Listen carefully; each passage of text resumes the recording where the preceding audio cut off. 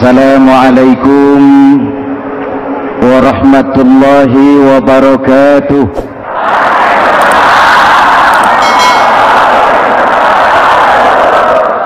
الحمد لله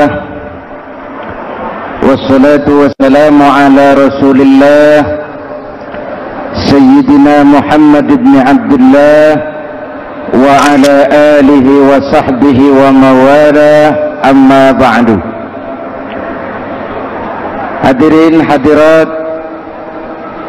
Ma'asyiral muslimin yang saya cintai. Ramadan adalah madrasah.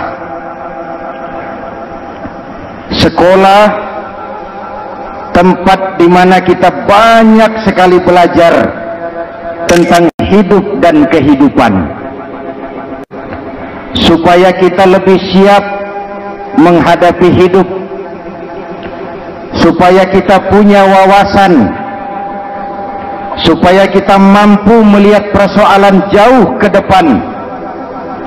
Supaya kita tidak terjebak pada keuntungan sesaat tapi merugikan jangka panjang. Malam ini saya ingin mengajak kita semua melihat kurikulum Ramadan. Pelajaran apa yang diberikannya kepada kita Pertama, Ramadan mengajarkan kita menjadi orang-orang yang sabar, ulet, dan tahan uji. Ini zaman di mana persaingan tajam. Betul?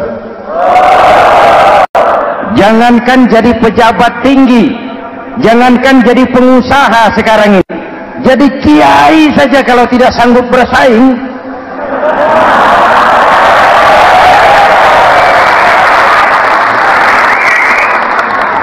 ini bahasa kasar tapi jujur.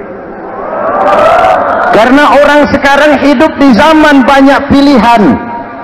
Akibat persaingan yang semakin tajam orang sering kehilangan kesabaran. Kepengen cepat kaya lalu tidak sabar. Makan renten nipu orang. Buka peternakan tuyul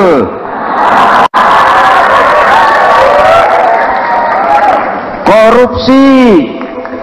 Sekarang ini kan lagi santer bulog get jilid 2 rupanya memang tajam uang bulog itu. Bulog sudah memakan salah seorang mantan ketuanya berdua amam bulog sudah memakan seorang presiden. Sekarang bulog sedang mengarah kepada ketua DPR kita lihat hasilnya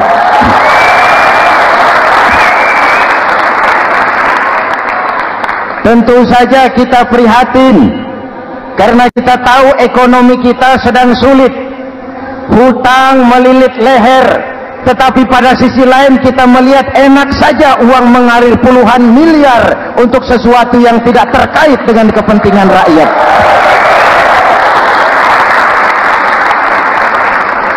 Karena itu puasa mendidik kita sabar biar lapar melilit perut biar haus mencekik tenggorokan. Kalau maghrib belum datang jangan sentuh makanan jangan ambil minuman. Sabar. Betul? Ada waktunya. Lalu lintas itu macet karena kendaraan besar tidak mau ngalah kendaraan kecil tidak tahu diri. Betul antrian di pasar kacau. Karena yang sudah dapat nggak mau minggir yang di belakang dorong-dorong. Betul? Di mana pun antrian kacau bung. Kalau yang sudah dapat mau dapat lagi. Yang nunggu kelamaan akhirnya dorong-dorongan kacaulah kehidupan sosial. Puasa melatih kita sabar karena sebagai bangsa kita punya latar belakang sejarah. Kita ini bangsa yang ditempa oleh segala macam kesulitan. Kita 350 tahun dijajah Belanda. Sulit. Setelah merdeka kita dirongrong oleh berbagai macam pemberontakan. Susah. Lalu PKI berontak susah lagi lalu berdiri orde baru. Lama-lama lama susah lagi. Orde baru selesai muncul reformasi. Masih susah juga. Kita bangsa yang ditempa oleh kesulitan bangsa yang tahan bantingan bukan bangsa yang cengeng. Karena itu mari kita menjadi diri kita kita akan gagal kalau kita mau jadi orang lain. Kita akan gagal kalau kita hidup di bawah bayang-bayang orang lain. Jadilah kita diri kita sendiri. Sabar ulet dan tahan uji. Inilah kurikulum pertama dari pelaksanaan ibadah puasa. Sehingga dengan dibekali sifat sabar kita bisa mengendalikan diri. Manusia hebatnya ya. Ayo kita banding-bandingkan malaikat binatang manusia. Malaikat tidak diberi nafsu hanya diberi akal. Kalau malaikat tidak pernah salah wajar. Jibril nggak pernah korupsi ayat. Ah ini ada ayat bagus saya pakai sendiri saja ini. Tidak malaikat maut tidak pernah salah adres mencabut nyawa orang yang belum waktunya mati. Tidak pernah. Dan itu wajar malaikat makhluk tanpa alternatif. Secara instinktif dia diciptakan untuk taat. Sebaliknya binatang diberi otak tapi tidak diberi akal. Binatang hanya diberi nafsu. Kalau binatang tiap hari salah wajar ayam. Kalau sudah datang syahwatnya tidak usah menoleh ini banyak orang apa tidak. Betul. Kuda keliling kota tidak pakai celana tenang saja. Betul. Dan wajar namanya juga binatang. Sedangkan manusia diberikan akal dan diberikan nafsu. Tiap hari terjadi perjuangan kadang akal menang kadang nafsu yang menang. Ketika akal menang kita lebih tinggi dari malaikat. Ketika nafsu yang menang kita lebih rendah daripada binatang. Hadirin yang saya cintai itu pelajaran pertama sabar ulet tahan uji. Lalu pelajaran yang kedua melahirkan sikap istiqamah punya stabilitas temperatur batin istilah sekarang. Soal istiqomah ini saya tidak akan menjelaskan pengertiannya. Saya mau cerita saja. Mau dengar nggak? Ini tentang istiqomah. Dalam satu pertempuran Jenderal Solahuddin Al-Ayyubi bersama tentaranya, tentara Islam pernah mengalami kekalahan. Karena kalah banyak yang ditahan jadi tawanan orang-orang kafir. Beberapa perwira dan banyak opsir tercatatlah ada tiga orang opsir jadi tawanan raja kafir ini. Satu hari raja kafir musyawarah dengan perdana menterinya. Perdana menteri saya tuan raja ini tawanan Islam ini enaknya diapain kalau enaknya sih dibunuh saja Tuan Raja. Selesai urusan. Ah soal bunuh sih gampang Perdana Menteri. Maksud Tuan Raja bujuk saja agar dia meninggalkan Islamnya ikut ke agama kita. Nanti kita kasih hadiah.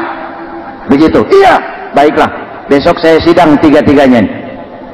Besoknya ini tiga opsir disidang di tempat terbuka langsung oleh Perdana Menteri. Mula-mula dipanggil opsir pertama. Opsir pertama? Ya, Perdana Menteri. Sini. Baik. Kamu tahu kamu siapa? Tahu. Siapa kamu? Tawanan. Iya, kalau tawanan bisa diatur kan? Diatur bagaimana? Kamu mau gak ikut saya bersama Tuan Raja meninggalkan Islam agamamu mengkhianati saudara-saudaramu sebangsa, setanah air, sekeyakinan, ikut dengan saya, tinggalkan Islam. Nanti kamu akan saya angkat jadi pejabat tinggi, gaji cukup, rumah cukup. Kendaraan cukup. Istri cukup. Tapi kalau kamu menolak kamu akan saya bunuh.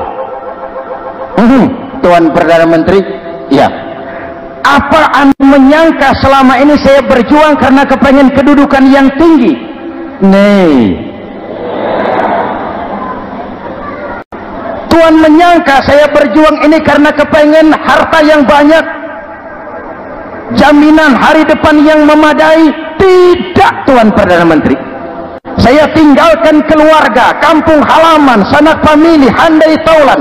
Saya jihad karena mengharap ridho Allah subhanahu wa ta'ala hmm, tapi sekarang kamu tawanan kan? Itu resiko perjuangan. Kamu tidak mau meninggalkan Islam? Tidak.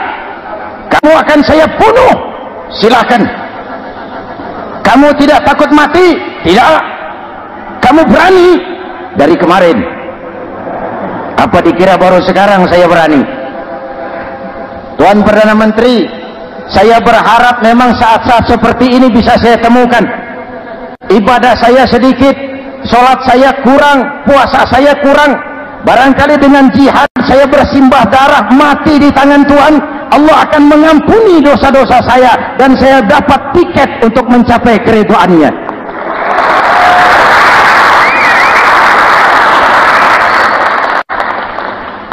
gila kamu. Biarin. Kalau ini Tuhan anggap gila saya bisa berbuat lebih gila dari ini saya bunuh kamu. Bunuh. Algojo dipancung Dio. Ini terlepas kepalanya dari badannya. Menggeluntung kepalanya ke bawah. Jatuh bergelindingan itu kepala lepas dari badan ngaji. Baca ayat Quran. Sampai Perdana Menteri bingung minggir-minggir ini ada kepala ngaji ayat yang dibaca يا أيتها النفس المطمئنة ارجعي إلى ربك راضية مرضية Wahai jiwa yang tenang Kembalilah kepada Allah dengan diridhoi Masuklah ke dalam golongan hamba-hambaku Dan masuklah ke dalam surgaku. Matanya terpejam rapat Bibirnya tersenyum. Dia gugur sebagai syahid karena membela keyakinan. Dia istiqomah tidak goyah oleh tawaran jabatan dan kedudukan yang tinggi.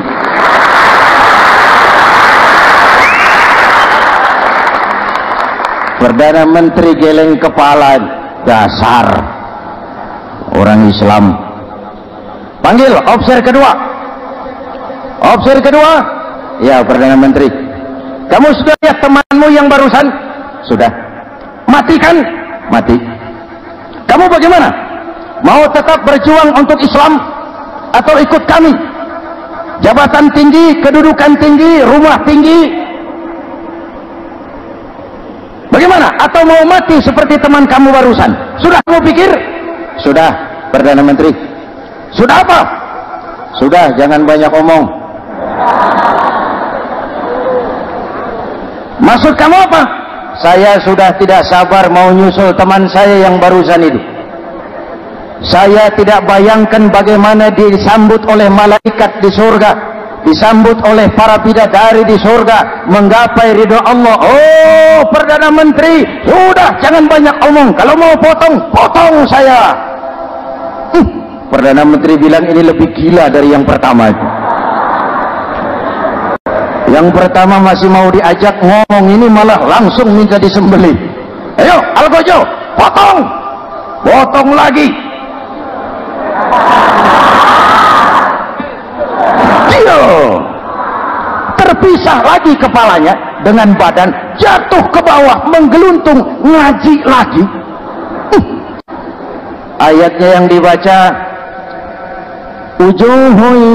yawma izin nadirah ila rabbiha nazirah muka mereka hari itu berseri-seri kepada ridho Allah. Mereka memandang.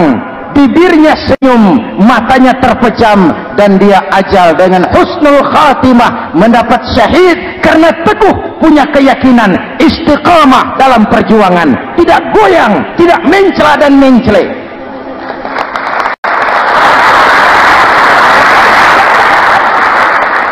Eh, officer ketiga, sini. Yap, siap Perdana Menteri. Kamu sudah lihat nasib dua orang teman kamu? Sudah, Mati kan? Mati. Kamu mau seperti dia? Oh, tidak, Perdana Menteri. Saya tidak mau mati. Daripada matikan lebih baik hidup. Kamu mau ikut saya? Mau, Perdana Menteri. Mau. Gaji besar, rumah besar, kendaraan besar, istri.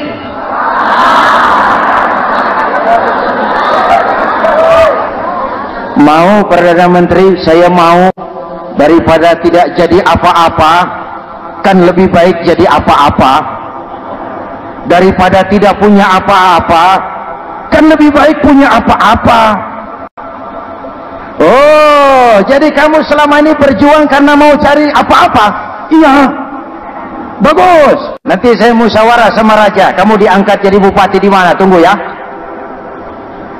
Perdana Menteri laporan, Tuan Raja. Ya, ini opsi ketiga kelihatannya baik ini. Dia mau mengkhianati teman-temannya, sebangsa, setanah air, sekeyakinan. Mengkhianati bangsanya, meninggalkan agamanya. Dia mau ikut kita. Kita angkat jadi pejabat di mana dia? Raja senyum. Oh, soal angkat mengangkat sih gampang, Perdana Menteri. Cuma saya pikir-pikir opsi ketiga ini kok tegel-tegel kok sampai hati ya? Temannya sendiri seiman, sekeyakinan, sebangsa, setanah air dikhianati karena mengejar jabatan, harta, kedudukan. Orang itu Perdana Menteri kalau sudah mau mengkhianati saudaranya sendiri apalagi orang lain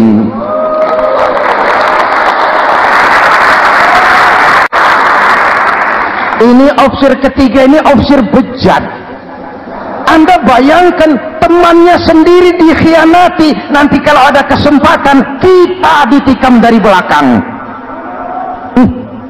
Jadi bagaimana Tuan Raja? Malah kalau saya lihat yang dua yang sudah mati itu, itu orang hebat Perdana Menteri.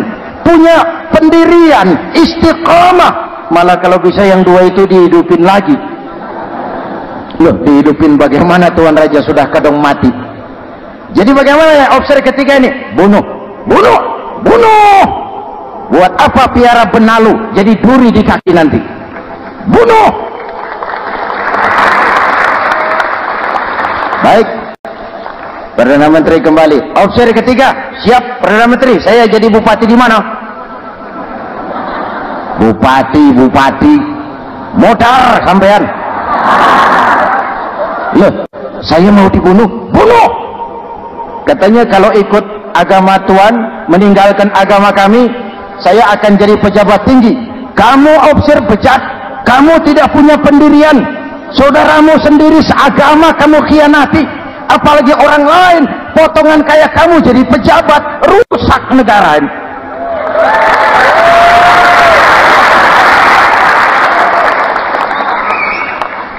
Hadirin hadirat yang berbahagia. Saya lanjutkan cerita ini. Nanti kesimpulan diambil sendiri-sendiri. Jadi saya mau dibunuh Tuan Perdana Menteri? Ya kamu mau dibunuh? Tidak jadi-jadi pejabat? Tidak. Kamu bejat. Bejat kok mau jadi pejabat nanti juga kalau kamu jadi pejabat paling kerjamu memperkaya dirimu sendiri paling banter keluargamu dan golonganmu rakyat tetap saja tidak terurus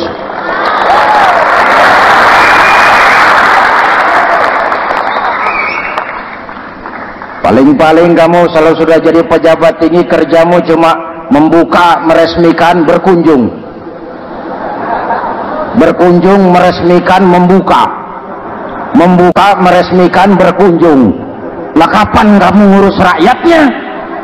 Bejat kamu. Jadi saya dibunuh, bunuh. Iyalah, kalau mau dibunuh ya saya bunuh, tapi saya mau Islam lagi ah terserah mau Islam lagi mau tidak kamu tetap akan dibunuh iya saya mau Islam lagi ayo cepat iya pak saya mau syahadat dulu cepat. Iya pak. Ashadu macet lehernya. Ayo cepat. Iya pak. Ashadu tidak bisa mengucap syahadat. Ayo cepat. Iya pak. Ashadu tidak tuntas mengucap syahadat. Golok algojo keburu sampai di lehernya. Dia darah mancur pisah kepala dengan badan menggeluntung ke bawah ngaji lagi. Dong dia bekas santri masih bisa ngaji. Cuma ayat yang dibaca lain sama dua temannya tadi. Ayat yang dibaca afaman haqqa alaihi kalimatul azab afaman haqqa alaihi kalimatul azab afa anta tunkizu man finnar ini ayat yang dibaca. Orang yang memang sudah dapat ponis akan mendapat azab bisakah kamu menyelamatkan dia dari neraka?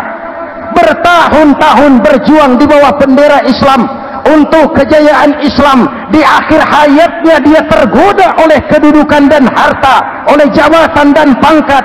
Dia bergeser imannya rapuh hilang istiqomahnya ditinggalkan agamanya. Dan dalam keadaan begitu dia mati dia su'ul khatimah. Na'udhu hadirin apa guna saya ungkapkan ini? Mari kita belajar perlu stabilitas temperatur batin saya sering katakan berapa banyak orang waktu di bawah teriak-teriak berantas korupsi ganyang korupsi sikat korupsi cuma karena belum dapat kesempatan. Begitu dapat kesempatan korupsinya lebih gila dari yang dia teriaki. Betul? Waktu di bawah rajin baca ayat kursi dapat kursi lupa sama ayat betul? Betul ini yang memerlukan sikap istiqamah konsisten. Hanya dengan semangat seperti ini maka kita tidak akan goyah oleh tantangan yang bagaimanapun beratnya. Hadirin yang saya muliakan Allah berjanji orang-orang yang beriman kemudian beristiqamah tatanazzalu alaihimul malaikatu alla takhafu wala tahzanu. Akan turun kepada mereka malaikat seraya berkata kamu tidak usah takut kamu tidak usah sedih Allah akan memberikan pertolongan kepada orang-orang yang istiqamah ayo kita tetap istiqamah melaksanakan ibadah hanya kepada Allah subhanahu wa ta'ala Nah yang ketiga ikhlas. Allahumma laka sumtu. Untuk engkau saya berpuasa. Orang mau puji atau tidak bukan soal. Orang mau lihat atau tidak bukan soal. Kalau sudah berbuat yang penting karena Allah saja. Keikhlasan itu kalau amal kita adalah jasad, ikhlas adalah roh. Saudara hari Jumat jam 9 pagi sudah berangkat ke masjid apa tidak bagus? bagus sarungnya baru baru Samarinda kelas BHS BHS sajadah tebal tebal tasbih panjang. Jam 9 sudah berangkat. Iya. Padahal sholat jam 12 betul. Apa pahalanya besar? Nanti dulu. Itu berangkat jam 9 itu maunya apa? Pameran sarung? Atau di dekat masjid ada janda? Atau apa di sinilah peran keikhlasan. Keikhlasan itu bukan kata. Malah kalau kita oh saya ikhlas loh. Biasanya tidak ikhlas kalau sudah ngomong begitu. Ikhlas itu amalan batin. Puasa ini menyelamatkan kita dari penyakit ria saya ingatkan Al-Ghazali bilang penyakit dua macam penyakit zahir dan batin.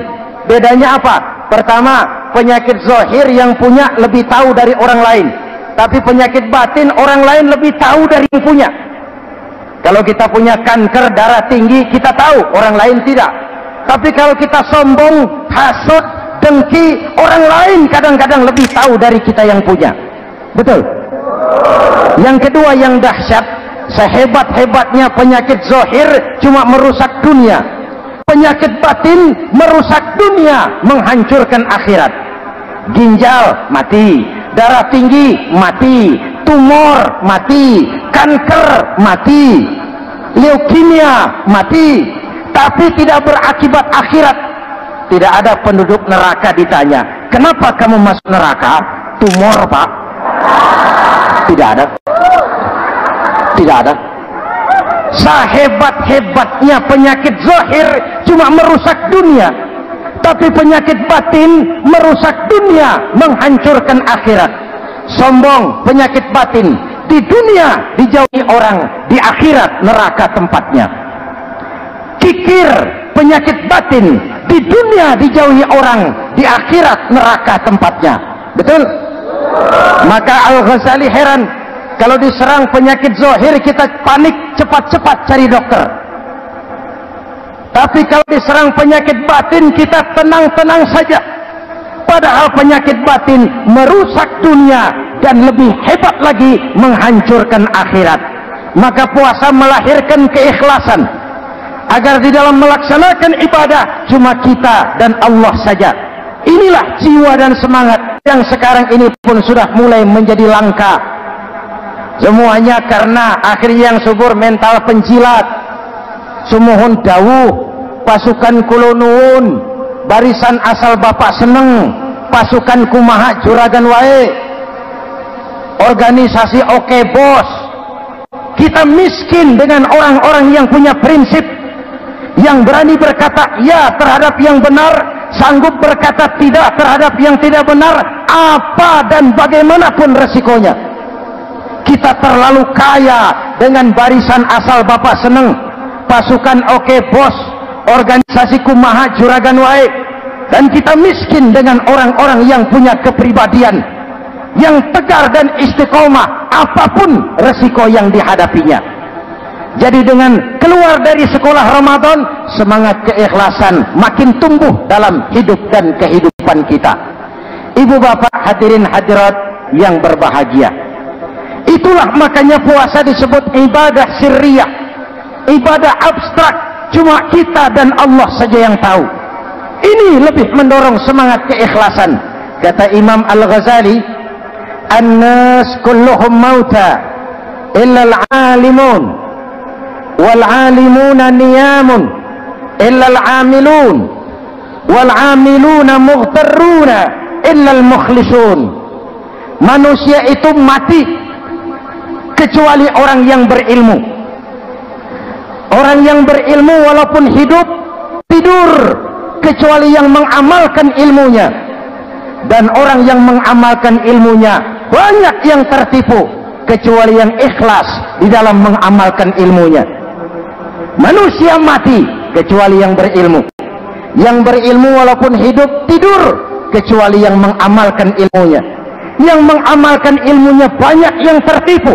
Menyangka amalnya sudah banyak sholatnya sudah hebat zakatnya sudah luar biasa jihadnya sudah mantap. Banyak yang tertipu kecuali yang ikhlas di dalam mengamalkan ilmunya. Jadi amal tanpa ikhlas jasad tanpa ruh. Itulah makanya nuansa Ramadan dengan ibadah puasa mengembangkan semangat keikhlasan di antara kita semua. Mari kita baca doa sama-sama munajat, mohon pertolongan Allah agar kita diselamatkan dari penyakit ria dan ditumbuhkan semangat keikhlasan. Ala hadhihi niyyah wa ila hadratin nabi al-fatihah